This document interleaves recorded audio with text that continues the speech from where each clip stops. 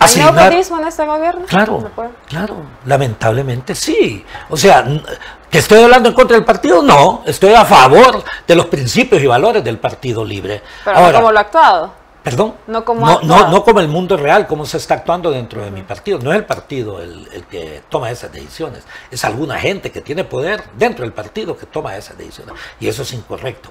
Lo combatí contra Juan Orlando, pues lo combato también contra la gente de mi propio partido. Porque entonces, ¿dónde está la ética? Y es que la ética solamente funciona contra mis adversarios. No, la ética es permanente. Y en un país como, nuestro, como el nuestro, eh, parece ser prohibido pensar, parece ser prohibido ser independiente, parece ser prohibido actuar con libertad, parece ser prohibido actuar con ciencia, parece ser prohibido actuar con conocimiento, parece ser prohibido actuar por el bien común.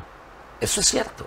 Entonces, eh, eh, también no es correcto porque es un abuso que usted le asigne un cargo a alguien que no se lo merece. ¿Y cómo no se lo merece? Bueno, no se lo merece por su trayectoria o por su formación o por su experiencia. Yo, por ejemplo, estoy claro que yo jamás voy a optar por ser presidente de la Corte Suprema de Justicia. Yo comprendo la justicia y comprendo la ley, pero yo no estoy titulado como abogado.